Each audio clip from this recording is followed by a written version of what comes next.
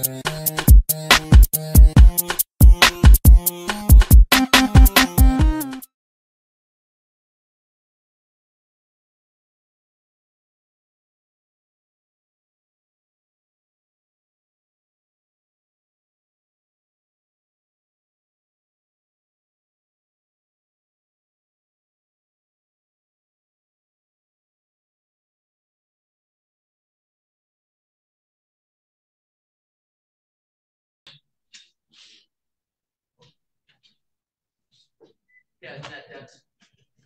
Hello. Ma'am, can you tell me your name? Rebecca Capola. All right. Um, Mr. uh, Glazer, we have to do the swear to on this one first. Yes, Judge.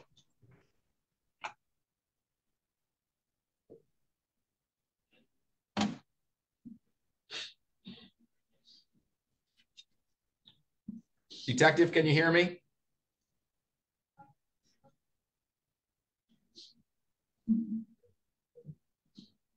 Can you hear me? Detective, yep, I can hear you. Can you hear me okay? Yes. All right. Uh, we're here to do the uh, swear to for Miss uh, Capola, or is it Capola, ma'am? Uh, Capola. How do you pronounce it? Capola? Co- Uh, Capola. Okay, I'm sorry. Capo- Yeah, Capola. Okay. Yep. Uh, so we'll call State of Michigan versus Rebecca Ann Capola, case number two four one two one four seven. Detective Fortin, could you raise your right hand? Yep. You solemnly swear or affirm the testimony you give will be the truth, the whole truth, and nothing but the truth? I do. oh, Go ahead, sir. me, oh, Okay, Detective Fordham with the Waterford Police Uh, Department on uh one twenty twenty-four. Waterford Township Police Officers responded to the Township of Waterford for a DV slash FA complaint. Excuse me. Upon arrival, officers spoke with the victim, Thomas Nash. Uh, he advised officers that his living girlfriend since November twenty twenty-three, Rebecca Coppola, picked up a wooden chair and hit him with it. Uh, she aimed the chair at his head, but Thomas was part Thomas was able to partially block the strike with his arm. Rebecca then punched Thomas on the left side of his face with a closed fist. Again, Thomas was able to partially block the strike. Thomas recorded the assault on his phone. Uh, officers watched that video, and uh, the video corroborates Thomas's story. Rebecca was taken in custody for FA and DV. Uh, Ms. Coppola's uh, CCA shows that she has two prior DV convictions. I sent this to the Oakland, Oakland County Prosecutor's Office, where a two-count felony warrant for FA and DV third were issued for Coppola. Thank you. Based on the testimony of the detective, I do find that a sufficient factual basis exists to support probable cause for the crimes alleged in the complaint warrant, that being count one, domestic violence, third offense notice, and count two, felonious assault. Uh, as such, I'll authorize the complaint warrant at this time, and I'll set no bond until she's arraigned. All right, thank you, Your Honor. Thank you, detective.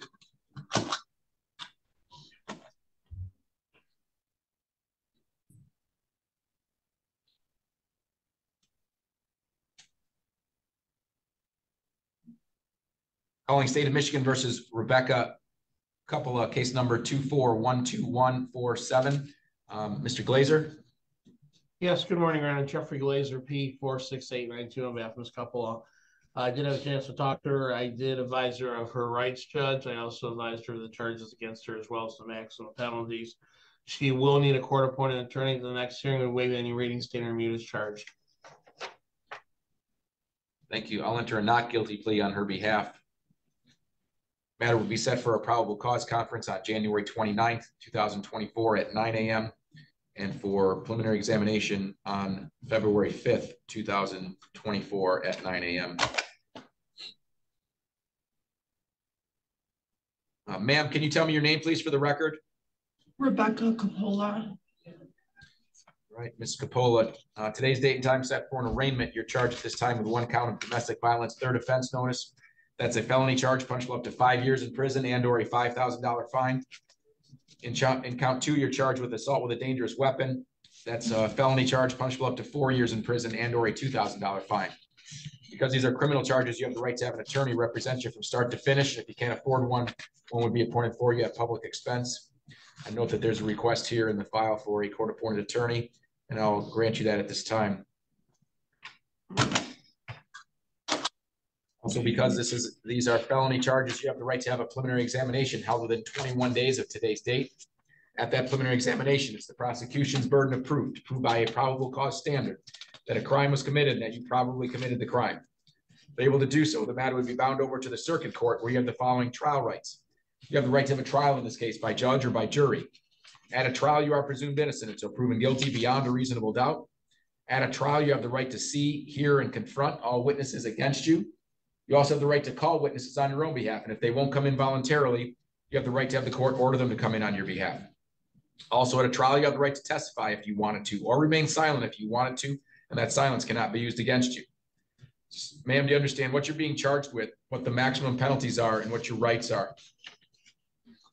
I understand. I'm sorry. I. All right, thank you. Ma'am, ma'am, Okay, don't say anything about the ma'am, case. let, let Mr. Glazer speak to you for you, okay?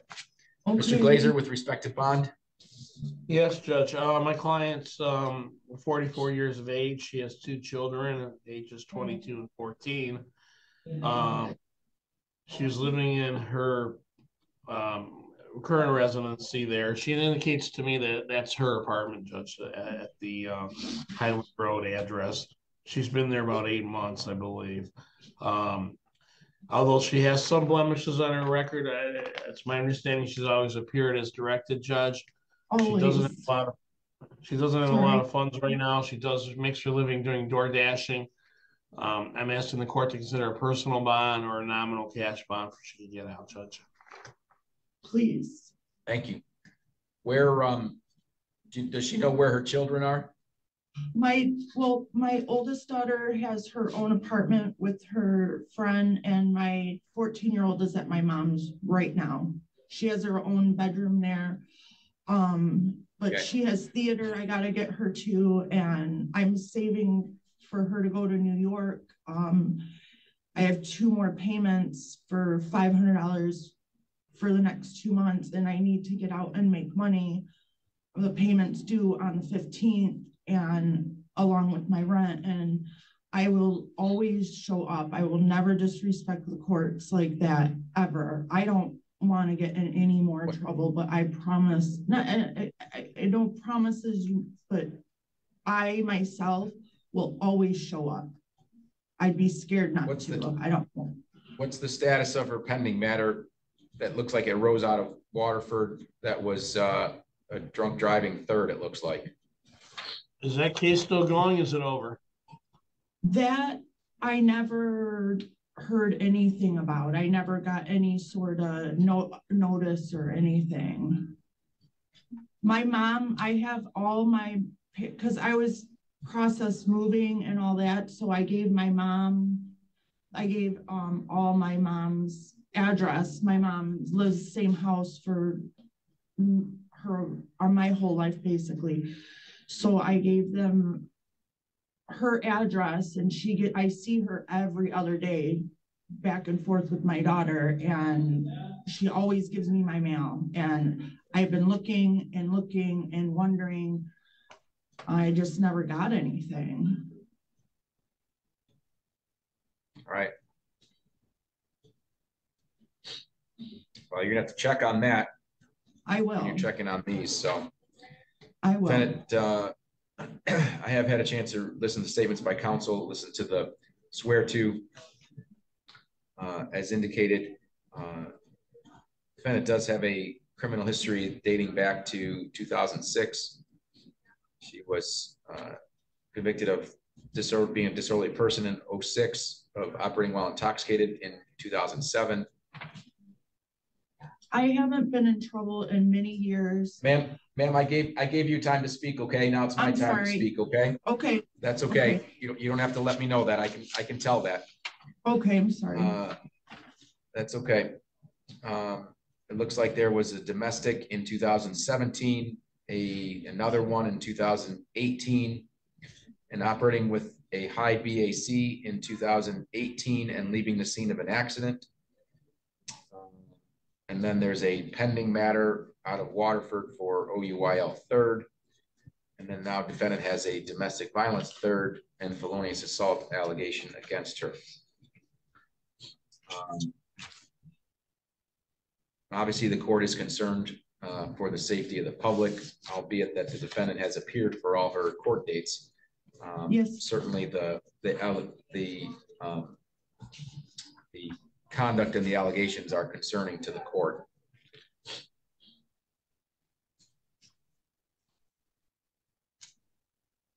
Given the facts and circumstances of the case, uh, as well as the defendant's criminal history, I don't find that a personal bond is appropriate. However, I will give the defendant a cash bond with a ten percent provision. Set a bond in the amount of ten thousand dollars cash surety or ten percent with the following conditions. Ma'am, that you have no contact at all, direct or indirect contact with Thomas Nash. You understand that? No contact means no contact, Okay. okay? You understand? Yeah. All right, and right now, right now, you're not to go back to five. Waterford, Michigan, okay? I'll let you go back there one time with a police escort. All right, you're gonna be back here in court by January 29th. Well, that's where I live. Ma- Where am I supposed to live? He will go to his parents.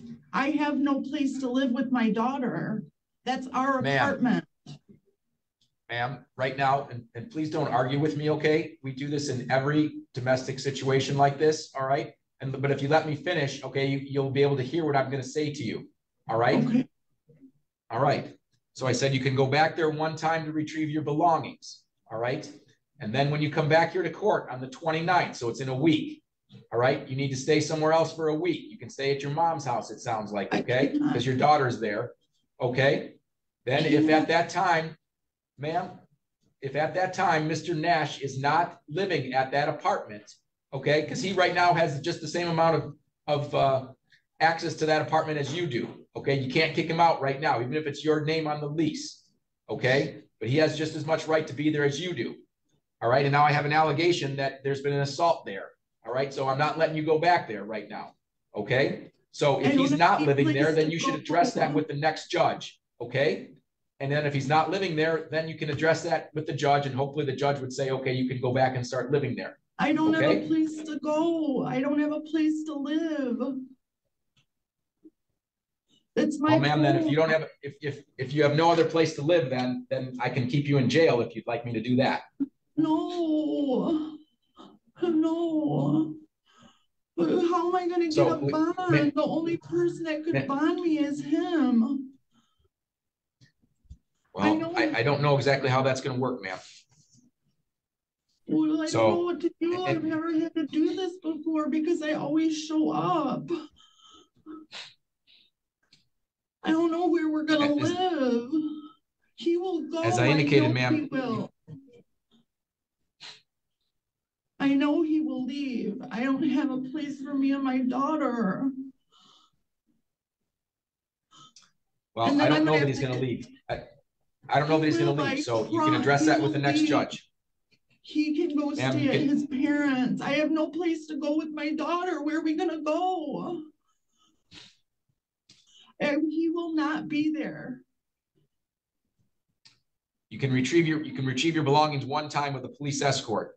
All right? You'll not assault, beat, molest, in any way verbally harass, intimidate, or threaten the complainant or any witnesses. No. You will personally appear for any court proceeding.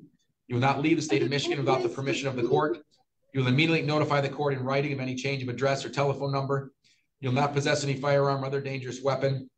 You shall repl- refrain from using any alcohol, any form of THC, marijuana, illegal drugs, or abuse medication. You must contact pretrial services within twenty-four hours of your release. Commit no new criminal offenses or activity. You will submit to a PBT and or urinalysis at the request of pretrial services. You will test for alcohol two times a week. Drug testing one time a month. That's fine. Uh, How, how right, do. I get a bond or something? I don't understand how this works. Ma'am, I, I can't give you any legal advice, unfortunately. All right, you're gonna have to, you're gonna have to ask the deputy there, and then if you need to call a bondsman, you might have to have somebody call a bondsman to help you get that out, okay? The only person I can call is him to call. Well, you can't My call mom him has because that'll stroke. violate She doesn't understand this stuff, sir. Please, please. You- you- Just, I, you I can't will contact, show up. ma'am, I, I, I set the bond and that's what the bond's gonna be. I be. know. And, and, but you can't, but you can't contact him. Like I just told you, you cannot contact Mr. Nash. He's the only one I can contact. He knows, You he can't knows contact he's him. sorry. Ma'am, you have a, you have a twenty-two-year-old daughter, don't you? I don't even know her phone number. I'm gonna have, I have major panic attacks. I have major depression disorder. I'm gonna have a panic attack. My mom had a stroke. She cannot, she doesn't understand how to do this stuff. Ma'am, you have to take a deep breath, okay? Take a deep breath. can't, I can't, I don't know how, I don't know where I'm gonna even live with my daughter. I've never had any Take a deep breath.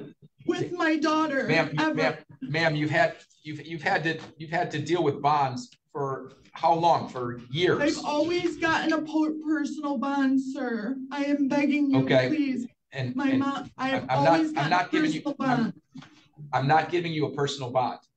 You don't, you're not entitled to a personal bond based on your history and based on the allegations. I don't find that a personal bond is appropriate, so you're not getting a personal bond. I gave you a 10% provision. I okay, know, to but allow how you am to I get gonna do that? The only person that could do it is him. I, I can't help you with that. I'm, I'm sorry. You have to call a well, then bondsman What do.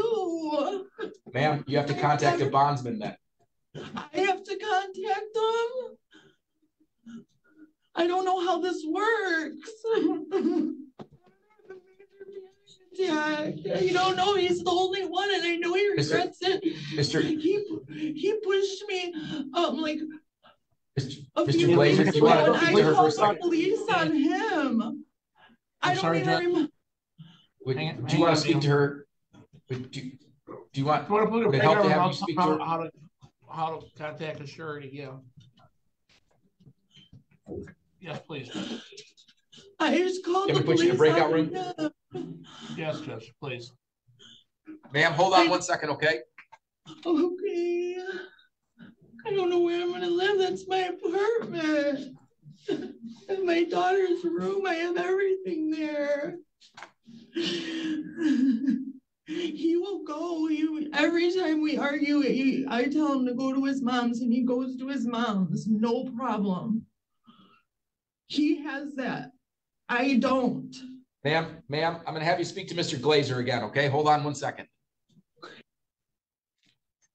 Judge, I don't know if they're gonna bring her back in, I think we're all set. If Okay, good. Thank you for talking to her again. she, yeah, she's just gonna have to contact the bonding agency and I'm sure the deputies will let her do that, so. Okay, I know this time Sounds to bring her back in, so there she is. all right, Ms. Capola, you're all set. You can let the deputies know you're finished, okay? Sir, I have no place to live. And Ma'am, my I, daughter- your, your daughter's, I your, your daughter's with your. I, I can't, I can't just keep arguing with you, ma'am. I, I understand that what you're telling me, all right, Where but I'm not gonna gonna change the bond. the I- and I- Ma'am, I, I, no, I'm not gonna have you sleep in the street. I gave, I, That's my I only indicated to you what, your daughter's not sleeping in the street, is she? My mom and dad will not let me go there. They're old. Well, They, those days are I- over. Ma'am, I can't help you sister for, Lost I- her house. They didn't let her move in there. That's their rule now. They can't do for one and not the others. I, I'm, then, then go live with your sister, ma'am. I can't, I can't help you anymore. I, I told you what, what I would do for you and I gave you a, a ten percent provision, okay? And I indicated to you that you can address the, the bond with the judge going forward and as to what you need to tell the judge going forward, okay? But what gonna be in a week. They don't do it. Well, that's, that.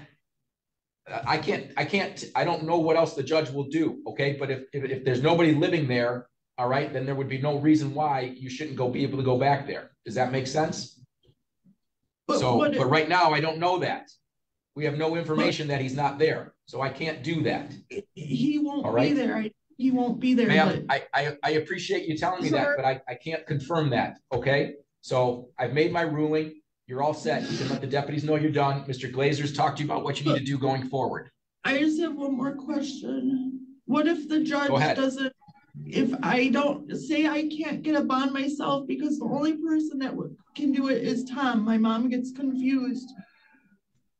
What, when I go on the 29th, and what if I'm still here and the, the judge You're doesn't, gonna, there's gonna, there's, there's gonna be a, there's going to be a, an attorney that's going to reach out to you if you're still in custody. All right, just like Mr. Glazer talked to you today, there should be an attorney that should talk to you prior to your, your hearing. All right, you'll need to talk to that person and, and let them know what you need. And if they need to make a couple of phone calls for you, they can make a couple of phone calls for you, okay? Does that make sense? am I, I'm basically stuck here forever? You're not gonna be stuck there forever, ma'am. The, the case will resolve at some point, okay? I will show up though. Can you just? Ma'am, I, I understand you're gonna show up, but you know what? I, I, you want me to? Ma'am, I've gone over this already, okay? And I'm, I'm, I'm done talking about it, all right? I mean, I can go back I'm over your criminal history. You've been, you've been in trouble however many I have- times. Um, I you, have you- you keep saying you show up in court, but the public just continues to be, uh, you know, Sir, my, affected I by you, okay? my You have drunk my- driving, you have drunk driving charges. it was horrible. I've struggled. I was Right, in so rehab right I- before I'm- that happened. as a member of the public, the public is not safe with you, okay? Do you want me to just change your bond so you just stay there? No, sir. Okay. So your, your, your matter is done, your matter is concluded today. You can please let the deputies know you're done, okay? okay. Good luck to I'm you. sorry. Thank you. All right, Ms. Capel, step out. They'll, they'll, they'll let you make a phone call to the, to the surety, surety of the bonding agency, okay? Step out, please. They'll do one for me by myself. The deputies will let you make a phone call. To the bonding agency. Am I allowed to call from the payphone? Ask the deputies. Okay, sir. Thank you. Okay, good luck. Thank you.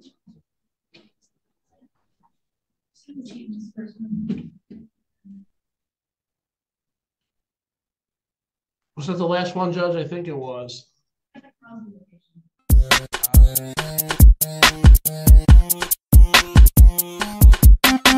you.